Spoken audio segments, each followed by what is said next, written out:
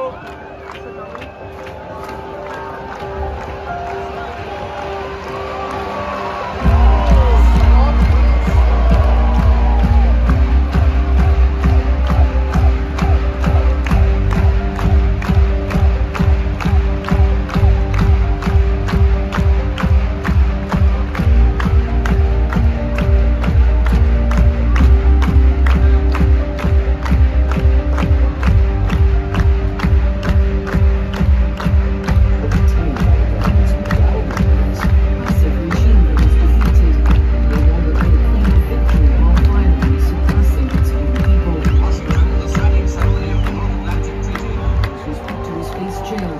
worse. My theory is that this isn't just about NATO and military security. Rise up and join us as in reference to the protests that we've seen taking place up and down the country.